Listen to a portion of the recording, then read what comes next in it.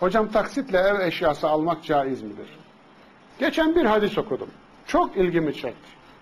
Çok ilgimi çekti. Bir gün gelecek insanlar para vermeden, bedelini ödemeden mal sahibi olacaklar. İşte o felaketleri olacak. Çok ilgimi çekti ya. Hiç okumamıştım ben. Oysa ki ben not almışım yıllar önce. Yani bir kartele tutmuşum ve ona not almışım. Ama geçen elime geçti. Sanki yeni görüyormuşum gibi heyecanlandırdı beni.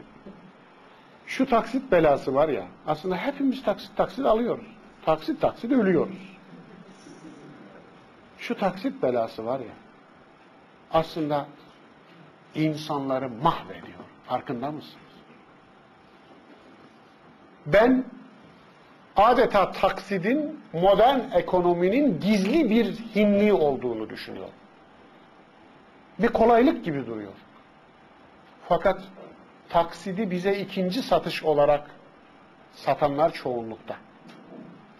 Bu aslında bu yasak. Taksitli sattığı için malın fiyatına bir de ayrıca bindiriyor. Vade farkı ayrı şey. Vade farkı helal.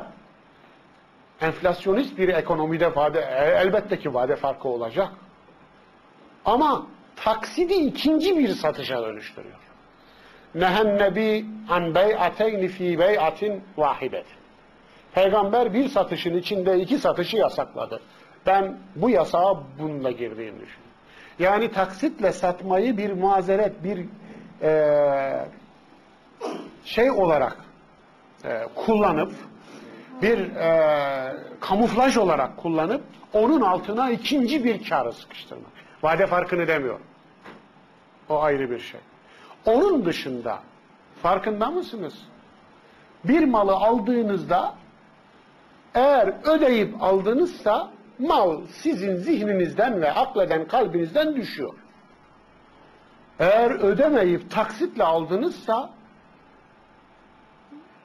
taksit defteri akleden kalbinizin duvarına çiviyle çakılıyor.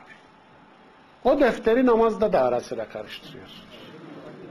Bakıyorsunuz namazda taksit okumaya başlamışsınız. Fatiha okurken takside kayıvermiş.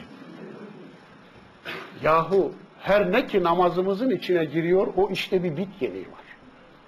Onun için dostlar tavsiyem şu. Taksit taksit öldürüyorlar. Vahşi kapitalizmin sofistike yöntemlerinden biri de bu. Bunun haramla helalle bir alakası yok. Helaldir. Helaldir. O ayrı bir mesele. Ama her helal tıyip değildir.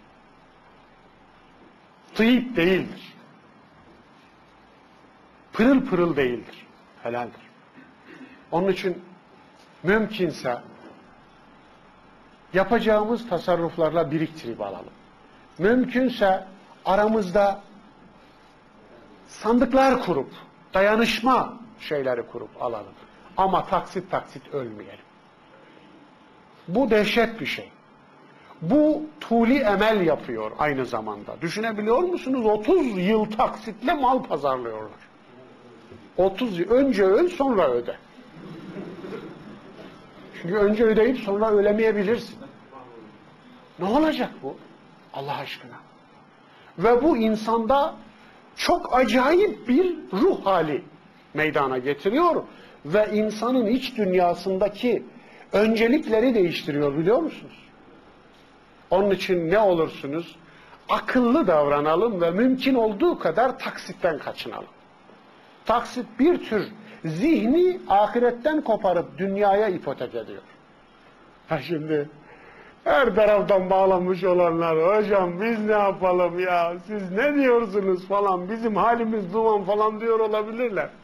Efendim benimki yapabilecek olanlara bir tavsiye. Hadise bu. Ama mümkünse ticaretimizi böyle yapalım. Nakit yapalım. O zaman aslında taksitli ticaretten yola çıkarak bir takım haram enstrümanları da kullanıyorlar biliyor musunuz?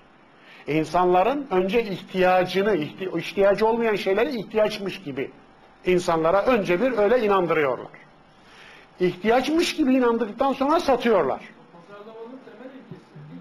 Evet. İhtiyacı değil aslında. Eğer iyi düşünse ihtiyaç nedir? Çok ilginç. İnsanların ihtiyaç tarifi yok biliyor musunuz? Çok dehşet bir şey. Bu aslında asıl kıyamet alameti belki de. İhtiyaç nedir? Ve aslında şunu dayatıyor bize. İhtiyaç sınırsızdır.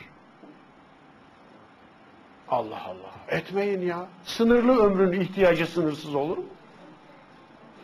Sınırsız ihtiyacı olur. Sınırlı bir ömürde yaşıyoruz. Aslında kulluk sınırsızdır. İhtiyaç değil. Demek ki ihtiyaçla kulluğumuzun adresi şaşırtılıyor. Vahşi kapitalizmin ihtiyaç tarifi farklı. Onun için tuzaklara düşmeyelim değerli dostlar.